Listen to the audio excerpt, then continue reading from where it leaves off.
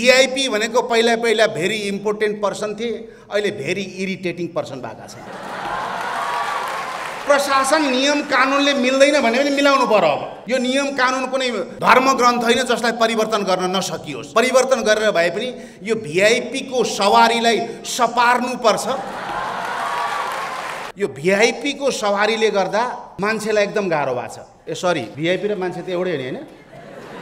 यो भिआइपीको सवारीले गर्दा सर्वसाधारणलाई निकै गाह्रो भएको छ भन्नुभएको थियो। यो भिआइपी उहाँले भन्नुभएको एक हदसम्म ठिक हो। भिआइपीहरूको सवारीले गर्दा सर्वसाधारणलाई गाह्रो भएको छ। किन भिआइपी र सर्वसाधारणमा फरक छ नि त? फरक छ नि होइन? किनभने उहाँहरूको सवारी हुन्छ सर्वसाधारणको आउने जाने हुन्छ। हामी खान्छौँ उहाँहरू जिउनार गर्नुहुन्छ। हामी उहाँ हेर्छौँ उहाँहरू नजर लाउनुहुन्छ। हाम्रा हात हुन्छन् उहाँहरूका बाहुली हुनुहुन्छ। यो फरक मान्छेको फरक स्वभाव र फरक कर्म त हुन्छ नै। तर यो सडक जाम हुनुमा भिआइपीहरूलाई दोष आउने कुराको म सरासर विरोधी छु। किनभने यहाँ दोष भिआइपीको छैन सवारीको दोष छ। किनभने त्यो सवारी शब्दै त्यस्तो हो भिआइपी त्यस्तो होइन। सवारी यानि कि वारीको मान्छे वारी पारीको मान्छे पारी बिचमा मन परिजिकल टु सवारी। त्यस कारणले मेरो अनुरोध चाहिँ भिआइपी हटाउने होइन। राष्ट्रलाई चाहिने चिज हो भिआइपी बिना देश चल्दैन। भिआइपी हटाउने भन्दा पनि यो सवारी भन्ने शब्दलाई हटाएर सपारी दिनुभयो भने यो सवारी पनि राम्रो छ जनताले पनि न्याय पाउँछ। र प्रशासन नियम कानुनले मिल्दैन भने पनि मिलाउनु पर्यो अब। यो नियम कानुन कुनै धर्म ग्रन्थ होइन जसलाई परिवर्तन गर्न नसकियोस्। परिवर्तन गरेर भए पनि यो भिआइपीको सवारीलाई सपार्नुपर्छ। त्यसो भयो भने जनताको सम्मान रहन्छ नत्र त पब्लिकको कुरा त हामीले बोल्नै पर्छ। भिआइपी भनेको पहिला पहिला भेरी इम्पोर्टेन्ट पर्सन थिए अहिले भेरी इरिटेटिङ पर्सन भएका छन्। महानगरपालिकामा छौँ उपप्रमुखज्यू आउनुभएको छ। एकदमै युवाहरूको आशा अपेक्षा चाहना उहाँहरूको स्पिरिटलाई हामीले एकदमै सम्मान गर्नुपर्छ। र एउटै मात्रै कुरो राख्न चाहन्छु कुरा त धेरै छन्। यो माइती घर भनेको चाहिँ यो बाटो हिँड्ने यात्रु र सवारी साधन र स्वयं ट्राफिकलाई पनि यति अप्ठ्यारो ठाउँ पऱ्यो कि आन्दोलन पनि त्यहाँ जुलुस पनि त्यहाँ विरोध पनि त्यहाँ माग गर्ने पनि त्यहाँ। अब हामी लोकतान्त्रिक मुलुकमा छौँ अधिकार ठाउँ माग्ने ठाउँ पनि चाहियो त्यहाँ नबस भन्न पनि मिल्दैनन्। फेरि हामी कानुनको राजमा पनि छौँ। त्यहाँ बस भनेर कानुनको उल्लङ्घन गर्न पनि दिन मिल्दैन। त्यसले गर्दा यो नगरपालिकाले गर्ने हो कि ट्राफिकले गर्ने हो कि सिडिओ साहबले गर्ने हो कि सरी साहब भनिछु है। जिल्ला अधिकारीज्यूले गर्ने हो कि यो माइती घरको बन्द विरोध गर्ने ठाउँलाई अर्को कुनै ससुराली घर या मामाबाट खोजौँ त्यहाँ व्यवस्थित गरौँ। त्यसो गर्दाखेरि न्याय माग्नेहरूले पनि ठाउँ पाउँछन्। माइती घर जान नपाउनेले पनि त्यहाँ ठाउँ पाउँछन्। र आम सर्वसाधारण भान्जा भान्जी छोरी ज्वाइँले पनि राम्रोसँग बाटो हिँड्न पाउँछन् भन्ने मेरो अनुरोध छ। म ट्राफिक प्रहरी र प्रहरीका धेरै कार्यक्रममा सहभागी हुने मौका पाउँछु यो सम्मानका लागि म यो संस्थालाई धन्यवाद दिन चाहन्छु र दुई तिनवटा काम मलाई मन परेका छन् तारिफ पनि गर्नुपर्छ। व्यङ्ग्य गर्ने मान्छेले राम्रा कुराको हौसला दिएन भने काम गर्ने मान्छेहरू पनि बिग्रिएर जान्छन्। त्यो हिसाबले म सम्मान गर्न चाहन्छु। यो हेलमेट पछाडि बस्ने मान्छेले हेलमेट लाउने पनि एउटा नियम आएको थियो। त्यो किन हट्यो? त्यसले गर्दा थुप्रै थुप्रै दुर्घटना भएको छन्। त्यतातिर पनि सोचियोस् भन्ने म अनु अनुरोध गर्न चाहन्छु। दोस्रो भनेको हर्न नबजाउने। अहिले पनि होला नियम।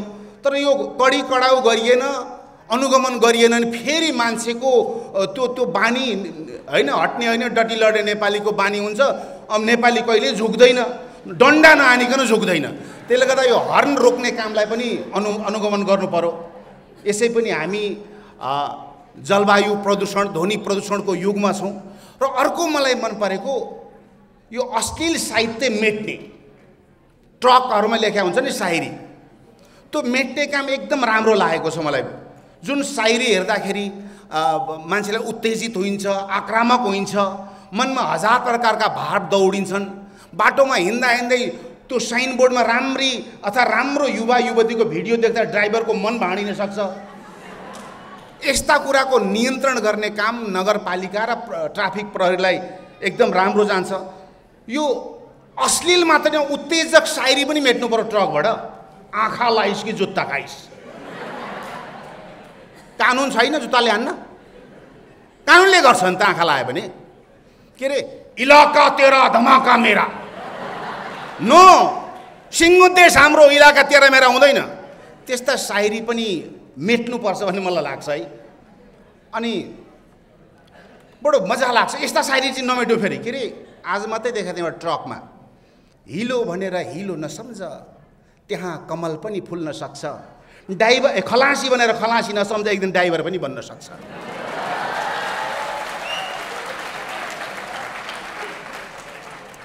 अर्को थिएँ ड्राइभर भनेर ड्राइभर नसम्झ त्यो पाइलट पनि हुनसक्छ अरे। ड्राइभर भनेर ड्राइभर नसम्झ त्यो पाइलट पनि हुनसक्छ ट्राफिक भनेर सिपाही नसम्झ हल्लार पनि बन्न सक्छ। यस्ता चाहिँ मेट्नु हुँदैन। यसले उत्प्रेरणा दिन्छन् मान्छेलाई। र म शुभकामना दिन्छु र जाँदा जाँदै एउटा गम्भीर कुरा गर्छु। यहाँ भोलिको नेपालका राष्ट्रपति प्रधानमन्त्री प्रशासक प्रहरी युवा भाइ बहिनीहरू हुनुहुन्छ र नीति निर्माणको तहको एउटा तबका यो मञ्चमा नै उभिएको छ। यो बेला हामीले ट्राफिक सचेतना अनि यातायातको सुव्यवस्थीकरणको कुरा गरिरहँदाखेरि हामीले अहिलेको सामाजिक सञ्जालले ल्याएको हाम्रो मनोदशा विश्वमा कोरोना भाइरसले ल्याएको हाम्रो मनस्थिति आर्थिक मन्दीले ल्याएको मानवीय तनाव यी सबै कुरालाई पनि गम्भीरताका साथ ध्यान दिनुपर्छ। किनभने यो सबभन्दा ठुलो ट्राफिक जाम हाम्रो मनमा हुने गर्छ।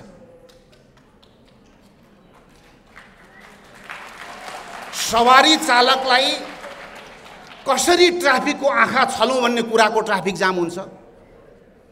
हामी यात्रुलाई कसरी कन्डक्टरको आँखा छरेर पैसा नतिरी झरौँ भन्ने हुन्छ? त्यसै गरी पैदल यात्रीलाई कतिखेर ट्राफिकले हेर्दैन न यो रातो बत्ती बल्दा पनि कसलाई झुक्याएर क्रस गरौँ भन्ने कुराको चाहिँ ट्राफिक जाम हुन्छ।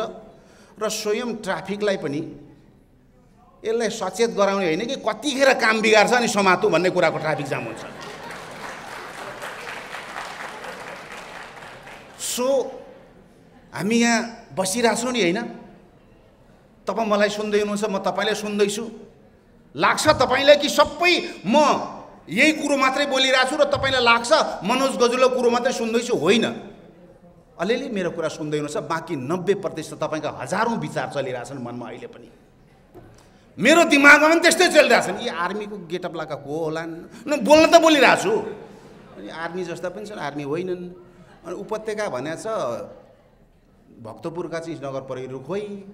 म हजार कुरा खेल मैले मन भनेको चाहिँ के हो भने एउटा अराजक ठाउँ हो। गाडी चलाउँदा पनि हाम्रो गाडी आउनु घर सोचिया छ परिवार सोचिया छ जागिर उता तलब आएको छैन तिन महिनादेखि होइन? हजार होइन? अब तपाईँको एक्जाम आज पास गरिदिनु। जब मन अशान्त हुन्छ नि सडक दुर्घटना मात्रै होइन जीवन पनि दुर्घटना हुन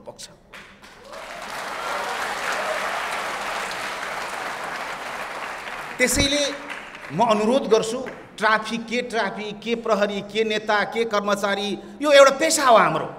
तर सबभन्दा ठुलो कुरो हामीले चल्न हाम्रो मन हो।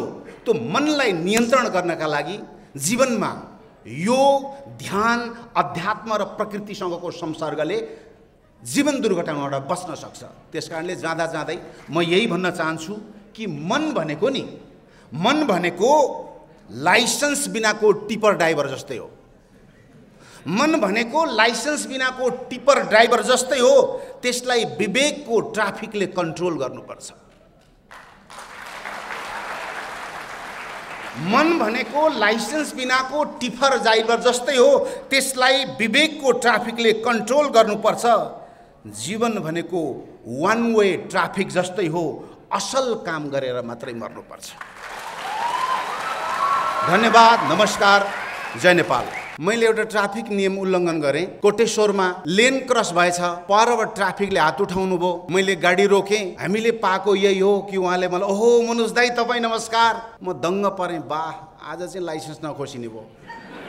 दाई लेन क्रस नगर्नु नि मैले भने सरी नेपालमा एउटा कानुन पनि छ। क्षमाको कानुन पनि छ। माफ मागेपछि मार्नु हुँदैन। ल आज चिनी पनि हाल्नुभयो उहाँले। माफ पनि मागेँ छोडिदिनु होला भनेको भाइ म जाउँ भनेको होइन दाई तपाईँ त जानै पर्छ तपाईँ जस्तो मान्छेलाई पनि हामीले छोड्यौँ भने जनतामा कस्तो सन्देश जान्छ। मलाई मन पर्यो मैले चिट काटेँ र मैले नियमलाई पालना गरेँ। सबै ट्राफिक प्रहरी सबै सवारी चालकहरूमा यो भाव आओस् भन्ने म चाहन्छु। कार्यक्रमका सभापतिज्यू प्रमुख अतिथि महानगरपालिकाका उपमेयरज्यू अतिथिको आसनमा रहनुभएका प्रमुख जिल्ला अधिकारीज्यू अतिरिक्त महानिरीक्षक दीपक थापाज्यू मञ्चमा आसिन विभिन्न प्रकारका जीवहरू अघिल्लो पङ्क्तिमा रहनुभएका मोटा जिउ पातला जिउ दुब्ला जिउ स्लिम जिउ नगर प्रहरी जिउ गर प्रहरी जिउ तान प्रहरी जिउ ठेल प्रहरी जिउ मिला प्रहरी जिउ भत्का प्रहरी जिउ यहाँहरू सबैलाई म यो ट्राफिक सप्ताह समापनको अवसरमा बधाई शुभकामना धन्यवाद र जय नेपाल।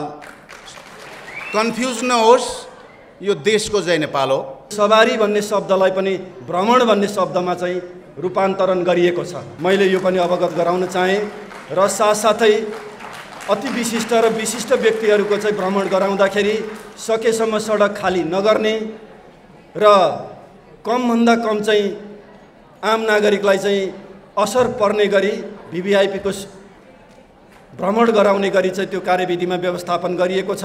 अब बिस्तारै त्यो लागु भएको चाहिँ अहिले पछिल्लो चरणमा सम्माननीय राष्ट्रपतिज्यूहरूको भिजिटबाट पनि हामीले अहिले मनन गरिराखेका छौँ अनुभूति गरिराखेका छौँ। यो कुरालाई पनि म यहाँ अवगत गराउन चाहन्छु। र अर्को कुरा चाहिँ यहाँ जुन हिसाबले सङ्घीय राजधानी पनि भएको देशैभरिका माग राखेर चाहिँ आन्दोलनकारीहरू अहिले सडकमा आउने त्यो पनि सङ्घीय राजधानीको सडकमा आएपछि मात्रै यहाँका चाहिँ मिडियाहरूलाई सुनाएपछि मात्रै सिंहदरबारलाई सुनाएपछि मात्रै माग पुरा हुन्छ भन्ने मान्यताका साथ जुन हिसाबले यहाँ आएर माइती घरमा आन्दोलन गर्ने त्यहाँको सडक चाहिँ अवरोध गर्ने ट्राफिक व्यवस्थापनलाई अस्तव्यस्त गराउने कामहरू भइराखेको छ। अब यो कुरामा हामीले चाँडो मनन गरेर कमसेकम सङ्घीय राजधानी राजधानीमा सभा सम्मेलन गर्ने विरोध प्रदर्शन गर्ने खुल्ला ठाउँहरू खुल्ला मैदानहरूको चाँडो व्यवस्थापन गर्न सकिएन भने यसले चाहिँ हामीलाई जहिले पनि ट्राफिक व्यवस्थापनमा समस्या निम्त्याइराख्ने त्यसले चाहिँ दुर्घटनाहरू बढाउने र अन्य चाहिँ व्यथितिहरू पनि निम्त्याउने अवस्थालाई चाँडो मध्यनजरमा हामीले लिनुपर्नेछ र यसमा चाहिँ विशेष गरी महानगरपालिका र सरकारवाला हामी निकायहरूले आपसी छलफल गरेर यो विषयलाई चाँडो टुङ्ग्याउनुपर्छ भन्ने पनि मलाई लाग्छ।